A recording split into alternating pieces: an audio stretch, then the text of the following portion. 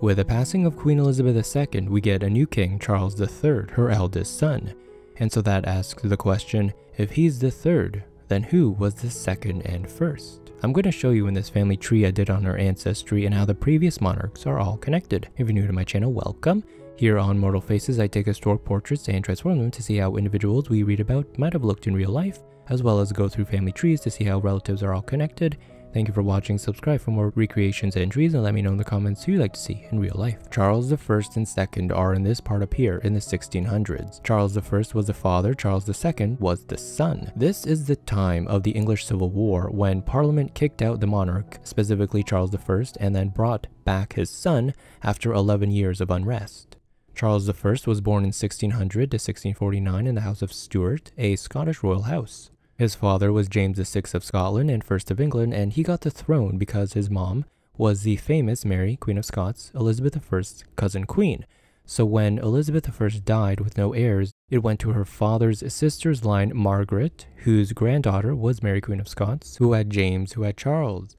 A lot of things happened with Charles I. When he succeeded the throne, he thought of himself as the divine right of kings, and as such should govern in his own conscience. Well, Parliament at the time was trying to curb that, so you can imagine there would be lots of tension. On top of that, the religious heir was more Protestant than Catholic, so when he married a Roman Catholic, it generated mistrust with the Puritans. And finally, England had no more money. With all the wars from his predecessors, Elizabeth I and his father James, the treasury was empty. So he did these shady runarounds to try and collect money like bringing in these forgotten laws to get some change. For example, distraint of knighthood means that anyone who earns more than 40 pounds from their land has to come to his coronation to be knighted. If not, then you get fined.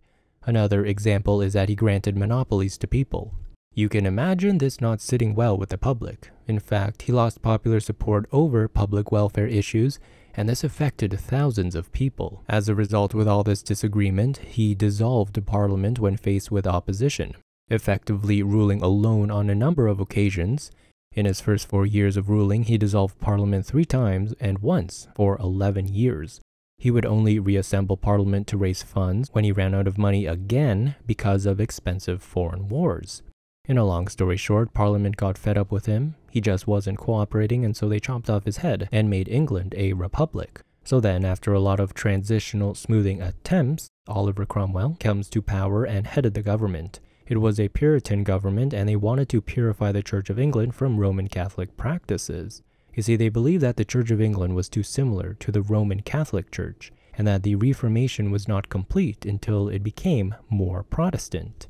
Basically, the Bible was their guide, and they did things like close down all theaters because they were seen as toxic anti entertainment environments and were now deemed as illegal performances.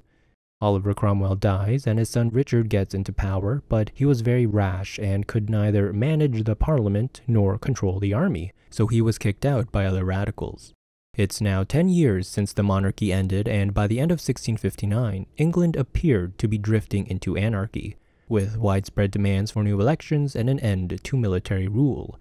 Charles II, the exiled son, was sitting on the sides watching this chaos when this Guy Monk, a royalist, said, How about we try and get in on this? It might work in your favor. So Monk marched into parliament and was like, I propose Charles II. He promises tolerance, leniency, and above all else, cooperation with parliament.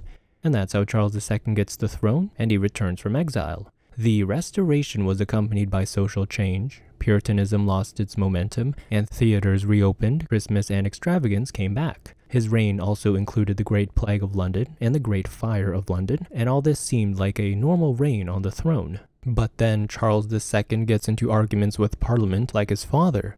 You see, they tried to ban his brother from succeeding him because he was Catholic. So Charles II gets fed up and disbands Parliament, making him an absolute monarch. He dies in 1685, age 58, having been on the throne for 25 years. Without any heirs, his Catholic brother James gets the throne.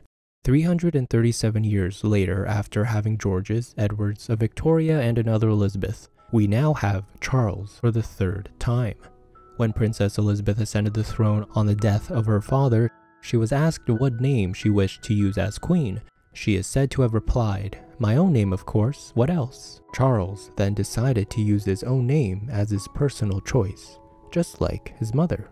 And that brings us to the end of this video and a little bit on Charles I and Charles II.